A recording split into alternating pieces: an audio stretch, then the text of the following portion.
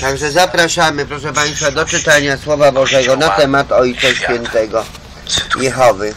Jehowa Bóg Stoimy dziś wszystkich w ludzi obliczu kocha. największej konfrontacji, Proszę jaką Państwa, Jehowa kiedykolwiek Bóg jest święty. ludzkość. Nie Zapraszamy. przypuszczamy, by szerokie kręgi społeczeństwa amerykańskiego, ani najszersze kręgi wspólnot chrześcijańskich zdawały sobie z tego w pełni sprawę. Stoimy w obliczu ostatecznej konfrontacji między Kościołem a antykościołem, Ewangelią i jej zaprzeczeniem. Ta konfrontacja została wpisana w plany boskiej opatrzności. Jest to czas próby, w który musi wejść cały Kościół, a polski w szczególności.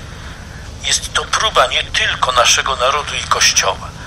Jest to w pewnym sensie test na dwutysiącletnią kulturę i cywilizację chrześcijańską ze wszystkimi jej konsekwencjami, ludzką godnością, prawami osoby, prawami społeczeństwa i narodów. Koniec cytatu. Widzimy tę konfrontację, niszczenie ducha w Europie, w świecie. Chyba wszyscy widzą, jak ten antykościół niszczy tradycję, rodzinę, wiarę. Jak daleko zniszczyli wiarę w ostatnich, do niedawna jeszcze silnych krajach w Europie. No teraz nie jest czas Na wiarę. Państwo zobaczą, że mają zniszczyć jeszcze Babilon Wielki. Zobaczymy, co się będzie Ale działo. ten antykościół ma wypróbowane Upadł, upadł Babilon. Wielki. Upadł, upadł Co Babilon będzie z. Polską? Co No będzie za kilka lat? w związku z tym. Wielu, choć nie Kaszlą, wszyscy kaszlą widzą, jak ten antykościół działa też w naszej ojczyźnie. Nie Jak moda wiele jest jego organizacji, które są pozarządowe. Jak ma swych zwolenników w szkołach, wśród nauczycieli, na wyższych uczelniach. Choćby na ilu uczelniach jest wykładany oficjalnie gender. Jak działa przez media, telewizję, radio, internet jak jest zorganizowany tutaj, jak jest w polityce. Czy Polska w tej sytuacji zachowa miłość do Pana Boga, Kościoła i własnej ojczyzny? Tak, jeśli będziemy mieli wielkich duchem pasterzy, nauczycieli, wychowawców. Będzie tak, jeśli na serio przyjmiemy słowa Pana Jezusa, żniwo wielkie, ale robotników mało. Proście Pana żniwa, aby wysłał robotników na swoje żniwo. Prośmy, prośmy o liczne, święte, mądre, charyzmatyczne powołania kapłańskie i zakonne.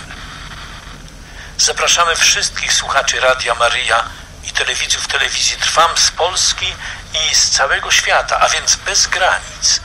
Zapraszamy do adoracji Najświętszego Sakramentu bez granic w tej intencji. Jeśli zależy Ci na wierze w Polsce i świecie, jeśli zależy Ci, zdecyduj się na choćby parę minut w tygodniu adoracji Najświętszego Sakramentu, choć ukryty, lecz prawdziwy, sam Pan Jezus. Zdecyduj się w tej intencji. Jeśli jesteś chory, czy nie masz możliwości być fizycznie przed Najświętszym Sakramentem, to czyń to przenosząc się duchowo przed Najświętszy wystawiony sakrament. Zapraszamy. Daj znać o tym, jaki czas wybierasz na tę adorację. Daj znać do naszego sanktuarium Najświętszej Maryi Panny Gwiazdy Nowej Ewangelizacji pod numer telefonu 693 168 247. Powtarzam 693 168 247 lub mailowo sanktuarium et radiomaria.pl sanktuarium et, czyli małpa radiomaria.pl Możesz też napisać do Radia Maryja Toruń, ulica Żwirki i Wigury 80 z napisem na kopercie Adoracja bez granic. I jeszcze jedno. Sprawdź, czy jesteś już na liście. Po paru dniach od podania tego terminu sprawdź, czy jesteś na liście Adoracja bez granic na portalu radiomaria.pl. Bóg zapłać za czynienie wszystkiego, by Polska była katolicka, byśmy ducha nie stracili. Pana Boga, byśmy nie stracili i miłości do Kościoła i Ojczyzny. Pana Boga nie Czeka wolno na Polskę. Europa i świat. przestań, przestań, tylko nie wyć. Nie wyć, nie, nie, nie.